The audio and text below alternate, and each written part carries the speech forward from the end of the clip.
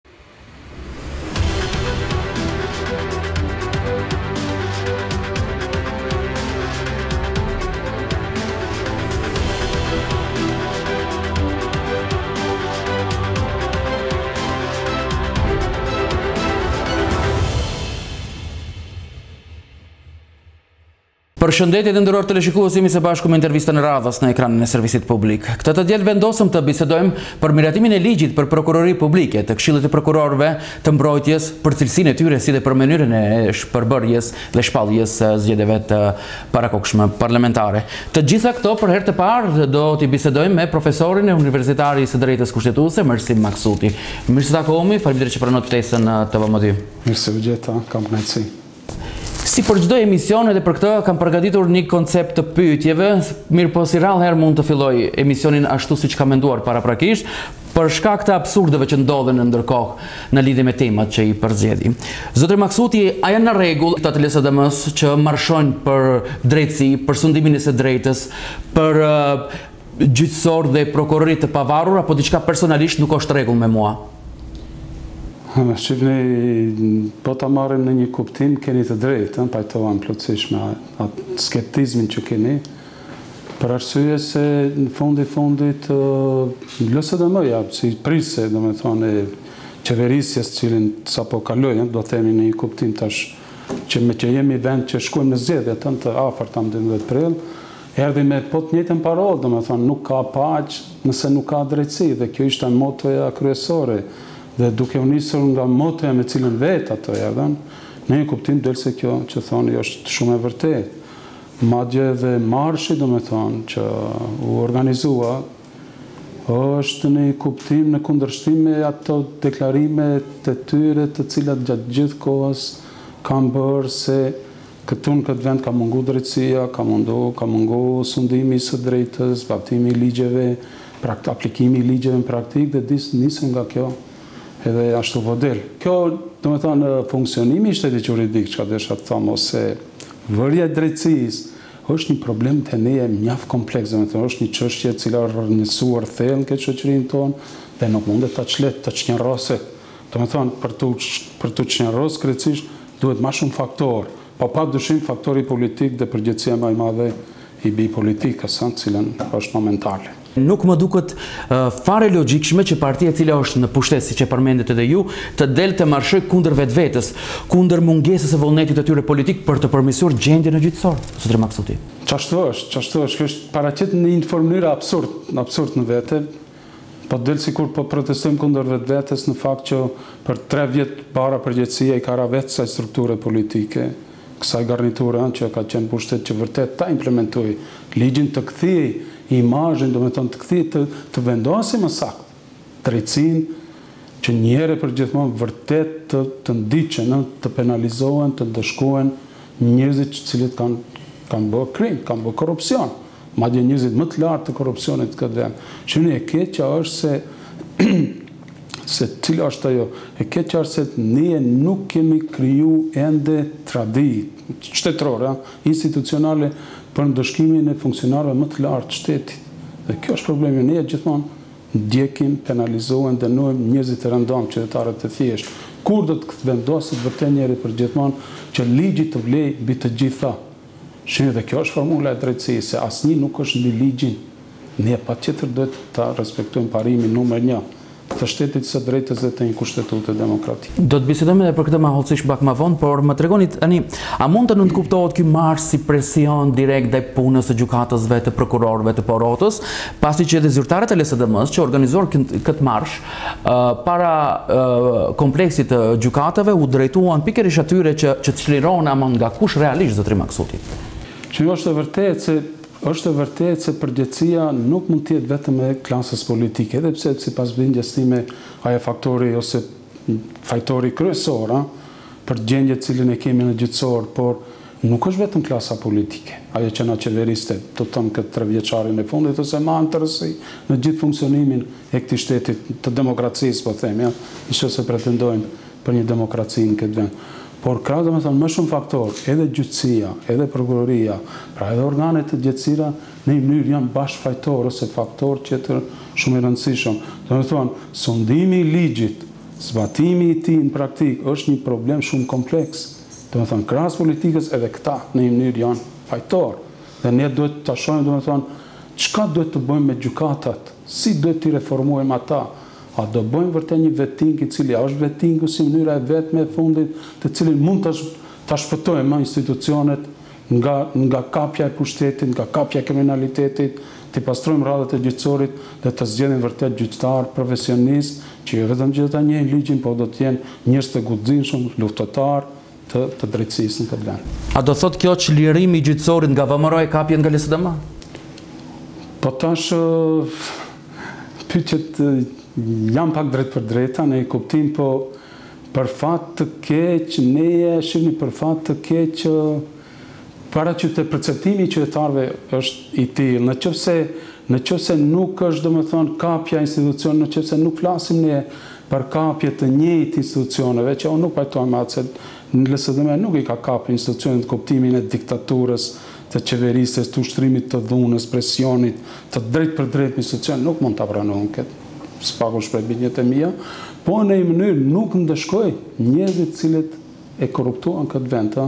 nuk i ndëshkoi njerëzit të cilët bënë krimet më të mëdha. Dhe kjo është ajo ajo mangësia ose defekti ose kritika që mund t'u bëhet atyre. Iku nga nga ndëshkimi i tyre, njerëzit që bënë krim më së shumti. Pse frigohet? Fund fundit me këtë me këtë moto erdhën në pushtet dhe qytetarët Prandaj i votuan më së shumti. Pse frigohet LSDM? A do thotë kjo se frigohet LSDM-ja të ndjekë krimin e lartë? Tash kjo është një çështje komplekse të cilën duhet t'i përgjigjet vetë LSDM-ja, pse cili ishte faji, pse nuk reagoi siç duheshte, qytetarët ia dhanë besimin, ato në këtë drejtim edhe vetë e kanë pranuar se dështuan, ë? Në luftën e plotë kundër korrupsionit, që ne ne kemi raste, domethënë, e prokuroria speciale, të cilën do ta me siguri do ta theksojmë pak më poshtë, e cila edhe u themelua si institucion vetëm për këtë qëllim. Në një kuptim ajo e dështoi. Para se të futemi në Në brendësi të analizimit të ligjit të miratuar për prokurori publike, do kisha dashur të sqarojmë njëherë për publikun për a ishte ose jo ligjore procedura e votimit të ligjeve në Kuvend, edhe pse u sqarua nga kryeparlamentari Talat Xhaferi, por na intereson edhe mendimi juaj. Shihni, unë nuk e ndaj mendimin se u shkel procedura ose aty me siguri kishte ndonjë lëshim teknik. procedural ma tepër, teknik ma tepër, ke mosevidentimi i votimit, për arsye se me një në, në rivotimin rishtas që u përsërit, u ba u pa se u arritën 80 votat, madje jo vetëm për për ligjin për prokurorinë publike, po kjo klasë politike, kjo domethënë, garniturë politike kishte arritur votat edhe për dy ligje tjera, për, për këshillin prokurorial, Dhe për ligjin për armatën dhe me këto dy ligjet edhe dy ligjet tjera që u votuan domethënë po me aq vota, 80 vota, ishte një dëshmi se veç pushteti i kishte siguruar votat e nevojshme të cilat ishin për ta kaluar pra ligjin për prokurorinë publike. A u rahatuan politikanët tani pasi që i shpallën zgjedhjet, votuan ligjet për prokurori publike, të këshillit të prokurorëve, të mbrojtjes dhe. Çka, çfarë arritëm ne si vend? Ku është zbatimi i tyre? Po nuk u, nuk u ra-, unë besoj se nuk janë rahatu, edhe pse ata duhet, domethënë, të shohim te, te gjendja e tyre shpirtërore, psikologjike, po unë, bindja ime është se nuk u rahatuan për arsye se ne nuk e kemi kthy plotësisht sundimin e ligjit. Shihni, përderisa dështoi prokuroria speciale, përderisa shumë njerëz, domethënë, Të, të që kanë bërë dëmin në këtë shoqëri nuk u ndëshkuan, pra drejtësia nuk shkoi në vendin e duhur deri në fund, besoj se edhe ato nuk janë të qetë, madje me këtë brengë po hynë më të madhe në zgjedhje, sepse nuk e arritën qëllimin për të cilën edhe erdhën në pushtet. A mendoni se LSDM mund të sjellë drejtësi në këtë vend? Tash unë përsëri po të analizojmë krejt spektrin politik, ëh, këtu që kemi. Përkundër dështimeve që jemi domethënë kritikues të të deri në një kuptim ë të mos vendosjes së sundimit të së drejtës, po marrë në përgjithësi domethënë gjithë spektrin politik që kemi, në radhë të parë përgjegjësia u bie subjekteve më të mëdha politike maqedonase në këtë vend, nga gjithë ajo që shoh Deklarimet e VMRO-së, domethënë, një herë së pari VMRO-ja nuk është distancu krejtësisht nga politika e vjetër e Gruevskit në këtë vend dhe nuk jep shenja se ajo do të bëjë, do të jetë, do të shndërrohet në një luftëtare të vërtetë të braktisjes, ë, të sistemit të vjetër të qeverisjes të që që kishim me VMRO-në e dikurshme të Gruevskit, ende nuk po na jep, ndoshta këtë e bën për Me kartën në një mënyrë ka edhe elemente shihni të të politikës nacionaliste me kartën domethënë që në një kuptim është se ajo duhet një herë e përgjithmonë ta braktisë këtë formë të arritjes së pushtetit. Opozita nuk u ka çliruar ende pi regjimit të themi të kaluar ë LSDM ende nuk arriti atë që duheshte të të bëhet çfarë të bëjmë ne? Çfarë të bëjnë qytetarët? SDM-ja vërtet nuk e arriti domethënë atë për të cilën erdh, por nuk nuk duhet vetëm të shohim në kuptimin e zi, vetëm kritik, vetëm një qasje domethënë energji negative, por kjo ishte ana e cila u mungonte atyre, por në një kuptim tjetër duhet të të vlerësohet puna e LSDM-së, si që për të LSDM-ja në sundimin e së drejtës, pra dhe vetë e kanë pranu, ka dështuar, por në një kuptim tjetër, në aspekt tjetër, ka janë bo disa hapa progresiv. Ne duhet ta dimë se kjo ky pushtet që e kishim tash, domethënë që kaloi i pari në historinë tridhjetë vjeçare arriti të bëjë kompromis dhe u nënshkru marrëveshja e Prespës, shihni debllokoi proceset integruese të vendit. Edhe ligji për prokurorinë publike, të cilin ne tash e diskutojmë, me të gjitha mangësitë që i ka, ka mangësi serioze se shihni domethënë tash bombat, Nuk do të shërbejnë më në procedurat hetimore si bazë për t'u përndjekur, për të hetuar të tjerët të involvuar në krim, në korrupsion të lartë në këtë vend, por në një mënyrë u arrit të të sillet të miratohet ligji. E kemi të qartë, u arrit të miratohet ligji dhe vetë fakti se u miratu ligji, bëri çka bëri, u arritën të, është një progres, është një element pozitiv në qeverisje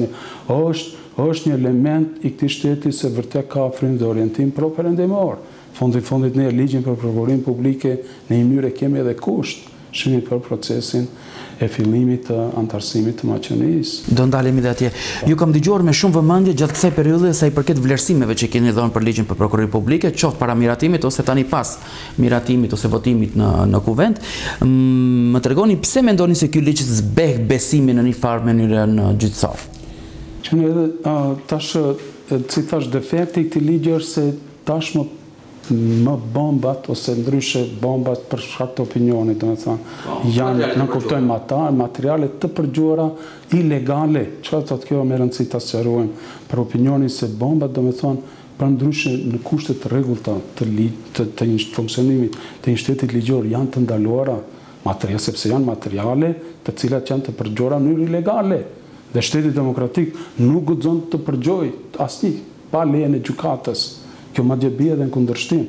me të gjitha konven jo edhe me ligjet kushtetutën e vendit po edhe me akte konventa ndërkombëtare sepse ndalohen ndalohen përgjimet të të bëhet jo vetëm qytetarëve po gjatë gjithë Edhe funksionarët gjithmonë pa vendim gjyqësor. Shkojnë dhe thonë, Por, pse u lejuan bombat me rastin, madje jo vetëm bombat, por si rezultat i bombave u themelua edhe një institucion i veçantë, pra Prokuroria Speciale, e cila do të merret vetëm me me me me bombat. Në bazë të bombave ajo u themelua si institucion dhe në bazë të bombave ajo ngriti edhe procedura hetimore ndaj Pse u lejuan, domethënë, bombat? U lejuan për arsye se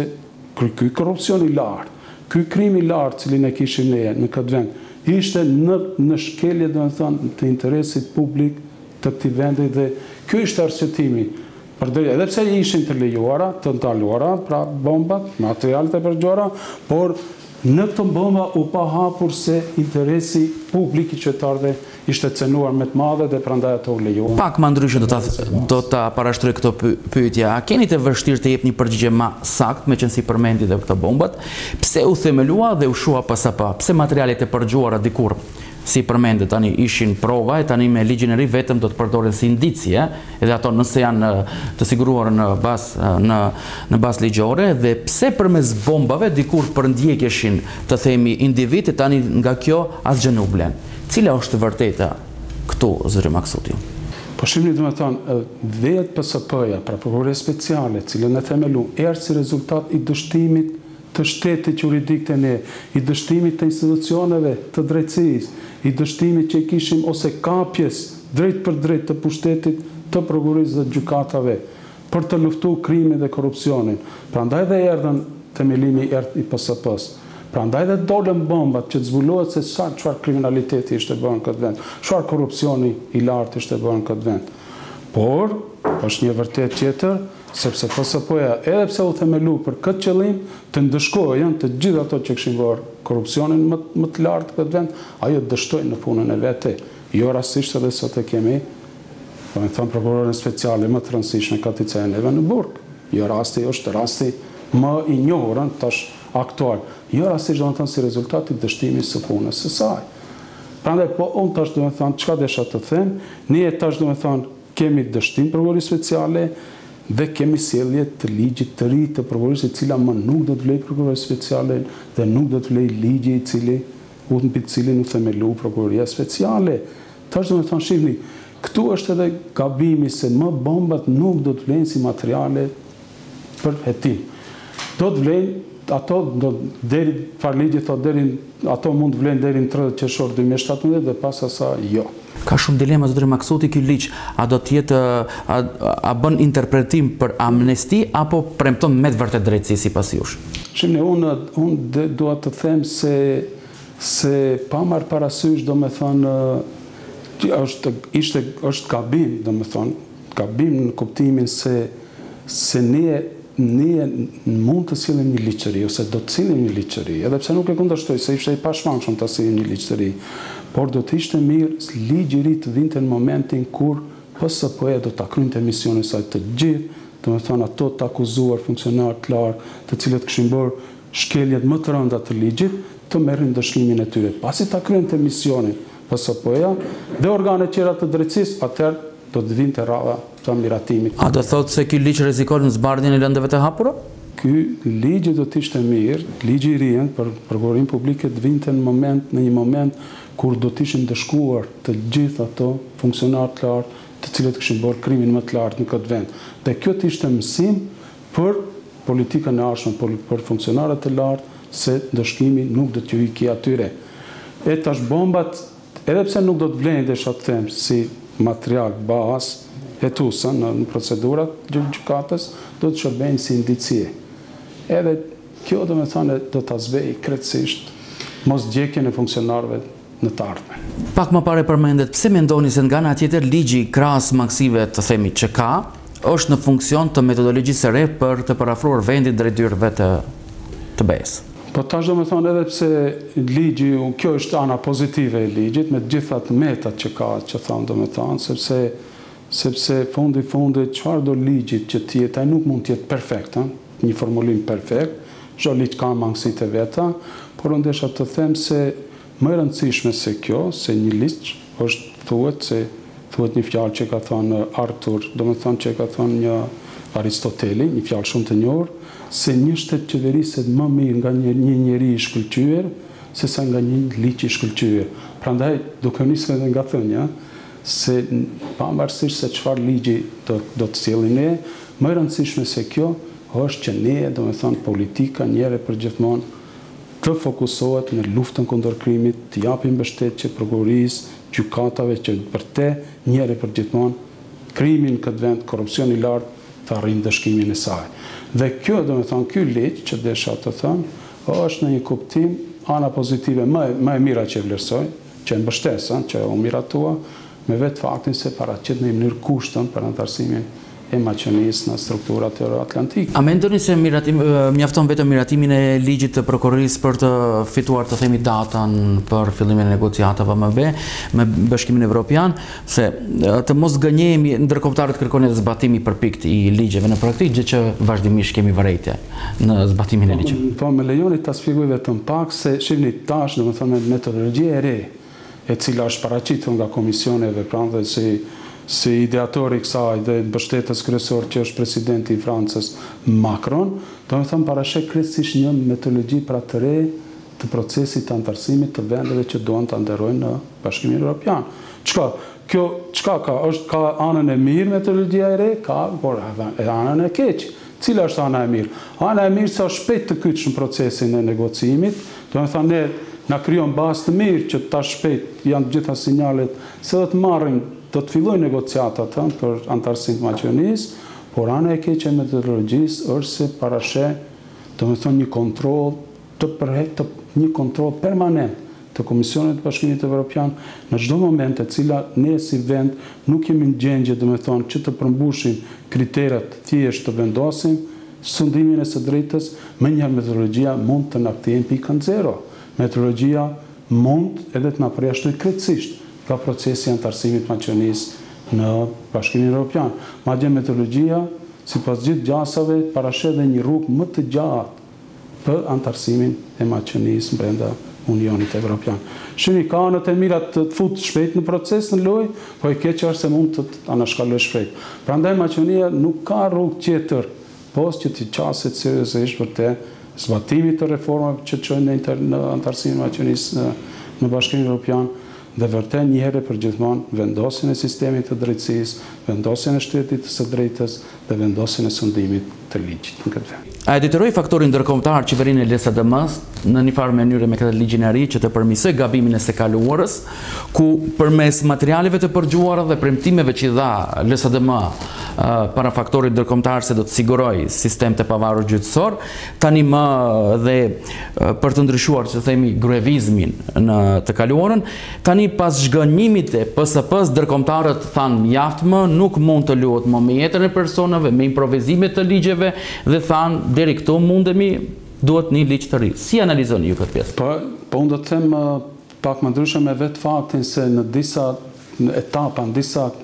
momente të caktuara që ne është dashur ta pranojmë, të fillojmë me datën e negocimit të anëtarësimit të Maqedonisë që nuk na e dha Komisioni Evropian, me shtyrjen e datës për fillim domethënë të procesit negociues, kjo ishte një leksion dhe një mësim se ne patjetër e kemi të kthehemi rrugës së reformave dhe bërjen e shtetit të së drejtës. Edhe tash mësimi më i mirë ose ajo qasja më serioze që që na i bën Bashkimi Evropian është met paraqitja e metodologjisë së re. Shihni, tashmë me metodologjinë e re neve po na ofrohet edhe një shans njëjtën kohë që të hyjmë pra si thashë në rrugën e negocimit, por njëjtën kohë edhe na jepet mundësia që shpejt të na diskualifikojë. nga ky proces Bashkimi Evropian. Prandaj ne nuk e ne nëse tash nuk kemi bindur një herë e përgjithmonë se vërtet pa kriju kushtet, pa ndëshku një herë e përgjithmonë të gjithë ato që bëjnë korrupsion, shihni në këtë vend nuk kemi rrugë tjetër të anëtarësimit të Maqedonisë. Se kemi dhe shumë pak kohë, kemi dhe disa pyetje. Si e vlerësoni punën e deritanishme të Prokurorisë Themelore Publike nga aspekti i zhvillimit dhe të procesuimit të hetimeve? Mendoni prokurorinë e përditshme? Po. Tash kjo më e fundit, a? Apo më herët në përgjithësi? Për këtë të aktualin. Prokuroria Themelore Publike. Po tash shikoni, përderisa drejtësia nuk merr epilog përfundimtar, përderisa ne qytetarët, a? Nuk marrin, domethënë, ndëshkimin e merituar, perceptimi i qytetarëve mbetet po ai cilin e kishin deri tash, domethënë, humbja e besimit në institucionet e drejtësisë, në gjykata, në prokurori, dhe kjo është ajo. Përderisa qytetarët nuk shofin se drejtësia jep rezultatet e saja, ato nuk do ta kthejnë besimin e plotë në to. Zotëri Maksuti ta ndryshim pak këndvështrimin e bisedës, gjatë qeverisjes tre vjeçare të themi të LSDM-së dhe BDI-së, kush ishte më i sinqertë të themi me premtimet me elektoratin, BDI me premtimet për NATO-n dhe Bashkimin Evropian, apo LSDM me premtimet e mëdha për gjyqësor dhe prokurori të pavarur. Shikoni, tash kjo, ato meqë ishin parti në bashkëqeverisje, domethënë qeverinë e kishin të dyja bashkërisht, por në një kuptim të dyja kanë qenë për këtë, do të jemi të sinqertë, domethënë edhe LSDM-ja, edhe BDI-ja kanë qenë, kanë pas përcaktim të qartë, orientim properëndimor, edhe këtu merita është e të dyja partive, në radhë të parë, LSDM-së e cila është parti më e madhe dhe është faktori kryesor në qeverinë e këtij vendi, por edhe BDI-ja si si aleat në qeverisje, si partner koalicioni, të dyja partitë, domethënë madje BDI-ja në mënyrë konsekuente në këtë aspekt, së paku në këtë aspekt nuk mund ta kritikosh se ka pas luhatje, domethënë ka qenë qëndrime konsekuente se për Evropën, për Bashkimin Evropian, për NATO, Dhe kjo është gjëja më e mirë që që mund të ndodhë këtij vend. Kush ka të drejtë, ta formuloj më ndryshe pyetjen? Kush ka të drejtë në fushatë të përmendë procesin e vetingut në gjyqësor që s'u bë, prokurori dhe politikë përveç BDI-së? E them këtë pasi që ia vlen të theksohet fakti se përderisa partnerin e koalicionit prioritet ishte mbyllja e kontesteve të jashtme që i përmendëm pak më parë, e vetmja BDI vazhdimisht vazhdonte ose trubetonte për veting të vazhdueshëm për të përmirësuar gjendjen në gjyqësor. Ky përcaktimi ose deklarimet e BDI-së më pëlqenin, që është për vetting, jo vetëm në gjyqësi, prokurori, por vettingu të shtrihet edhe në institucione tjera siç është policia, por pse jo edhe më tej, por kjo është ana pozitive e kësaj deklarim përcaktimit, por është një çështje tjetër që do ta theksojmë se çështja e procesit të vettingut është një çështje mjaft e kompleksuar, nuk mundet ai vettingu të bëhet aq lehtë. Domethënë për të bërë një veting ai duhet të jetë vërtet objektiv, i mirëfilltë, i besueshëm. Për të bërë pra një veting aty duhet të organizohet në mënyrë më të mirë. Pra aty nuk mund ta bëjnë vetingun vetëm njerëzit brenda një pushteti, një qeverie, pra vetingu duhet domethënë është të cilit duhet të sigurohen mekanizma të fuqishëm për të bërë vërtet objektiv. Aty duhet të sigurohet një trup e veçantë, madje pse jo edhe të monitoruar drejtpërdrejt nga faktori ndërkombëtar, që të vërtet do të jetë njëqind për qind real dhe i besueshëm, që jo të ketë ndikime, anshmëri politike dhe dhe mënyrë selektive. Një vetting të tillë nuk do ta doja të përsëritej. Po për një vetting të fuqishëm jam, por i siguruar, i garantuar me mekanizma, madje me një kontroll, me një mbikëqyrje të fuqishme ndërkombëtare. A kjo është gjëja më e mirë dhe gjëja e patjetërsueshme sot apo nesër që duhet të ndodhë, sepse vetëm një vetting i fuqishëm mund ta ta ndryshojë krejtësisht mentalitetin e gjykatave, të prokurorisë në këtë vend dhe vërtet mund një herë e përgjithmonë të nisemi rrugës së së vendosjes së drejtësisë dhe ndëshkimit të korrupsionit më të lartë në këtë vend, sepse institucionet tona për fat të keq kanë qenë gjithmonë, domethënë kanë qenë institucione që kanë dënuar, ndëshkuar qytetarët e zakonshëm dhe asnjëherë hierarkinë më të lartë të pushtetit, pra njerëzit që kanë. VMRO-DPMNE e ka paralajmëruar që nëse fitojnë zgjedhjet dhe normalisht nëse munden të formojnë qeveri, Do të propozojë masa juridike shtesë për të kontestuar ligjin për prokurori publike që u miratua këtë javë. Ju çfarë mendoni? Tash unë unë nuk besoj se se mund të të vijë deri aty. Gjithmonë domethënë ë partia të meqë jemi edhe në prag zgjedhjeve dhe në një kuptim edhe është bërë një lloj kampanje fushate në këto zgjedhje nuk besoj shihni është ligj Prokuroria Publike është ligj organik, domethënë një nga ligjet shtyllë të të të funksionimit të shtetit dhe nuk do të jetë lehtë për arsye se duhet të sigurohen edhe tetëdhjetë për qind të këtyre të këtij të miratimit të apo ndryshimit të ligjit. Besoj se Maqedonia Maqedonia Është në procesin e rrugës së anëtarësimit, është një ligj i cili është kërkuar në një mënyrë nga Komisioni Evropian dhe nuk besoj se çdo proces i cili ecë në drejtim të Unionit Evropian mund të cenohet lehtë dhe të ndryshohet. E përmendët fushatën parazgjedhore të partive, a mendoni se partitë politike gjatë kësaj fushate do të merren, do të vazhdojnë praktikën e deritanishme të publikimit të bombave, meqenëse kanë merak dhe kanë filluar që nga foltoret në Kuvend këtë javë? Po, po, por tash edhe në një mënyrë ligji i ndalon ata nëse janë bomba, do të thotë materiale të përgjora ilegale. Është pak çështje problematike publikimi i atyre. Mund të ketë edhe gjithçka, sidomos fushatat tona e dimë ne gjatë kaluarës se kanë qenë me fyerje, me ofendime, gjithçka edhe pritet, ëh, në, gjatë fushatës zgjedhore, por Ato sa do të japin efekt, do të mbetet te qytetarët që të vlerësojnë. Duke u nisur nga duke u nisur nga tradita e funksionimit të deritashëm, është humbur besimi i qytetarëve dhe prandaj nuk besoj të japin efektin e duhur. Pasi të gjitha këto që biseduam tani lidhet, domethënë, me punën e Kuvendit, do kisha dashur për një moment të dal nga kjo temë dhe t'ju pyes, a u bindën bashkëqytetarët tanë se nuk ka asgjë të keqe dhe të dhimbshme që kryeparlamentari të jetë shqiptar? Kjo është një çështje, një pyetje mjaft interesante. Unë besoj se u bindën, jam i bindur, nëse nëse nuk e thonë publikisht, shpresoj se në shpirt, në brendësinë e tyre janë të bindur, aq më tepër kur vetë kryetari aktual, domethënë Talat Xhaferi ka udhëhequr seancat në mënyrë dinjitoze, këtë në këtë aspekt dhe në aspektin tjetër ata duhet të binden një herë e përgjithmonë se Maqedonia është shtet i përbashkët, shtet Multi është shtet, madje unë do të them jo vetëm multietnik, por do të them binacional, pra një, një do përdorja një term më të saktë, më, më real, më të natyrshëm. Ne jemi shtet binacional dhe dhe duke marrë për bazë se ky vend domethënë përbëhet nga një popullsi e konsiderueshme shqiptare, unë do të them patjetër Ne si shqiptarë duhet të reflektojmë edhe si element konstituiv në ndërtimin e këtij vendi, gjë që një nga tre pushtetet më të rëndësishme i takon edhe të jetë nga pjesëtarët e nacionalitetit shqiptar. Kjo është një e drejtë e natyrshme, madje ne edhe kemi pas, e dimë botërisht se edhe në komunizëm kemi pas kryeparlamentarin shqiptar, le më sot në kushtet e demokracisë që Të drejtat kolektive duhet të afirmohen edhe më shumë te një populli të caktuar. Zotëri Maksuti, unë kaq pyetje pata për këtë intervistë, nëse keni diçka për të shtuar e që nuk ju kam pyetur, urdhëroni.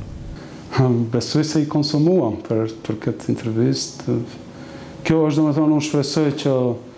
dhe kjo është brenga ime, jo vetëm e imja, por e gjithë qytetarëve, në fund e fundit unë të gjithë ato që kam shpreh këtu,